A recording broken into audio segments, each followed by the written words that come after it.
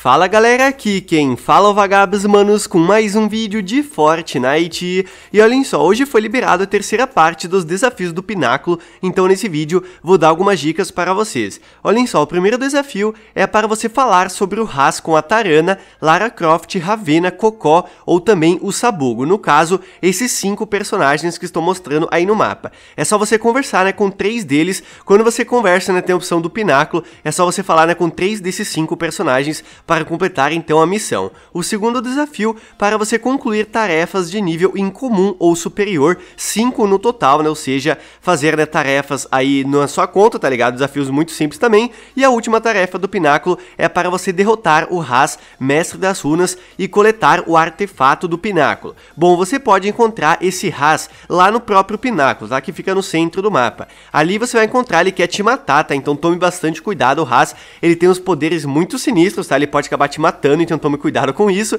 Enfim, né, quando você elimina ele, você coleta o artefato que ele dropa para completar a missão, e assim né, você consegue muito XP e também um novo estilo aí para a skin do Haas na sua conta, ok? Então é isso, mano, se você gostou do vídeo e de alguma forma te ajudou, deixa o likezão aí porque não custa nada e me ajuda muito. Então é isso, manos, aquele abraço, se vemos no próximo vídeo, valeu, falou e eu fui!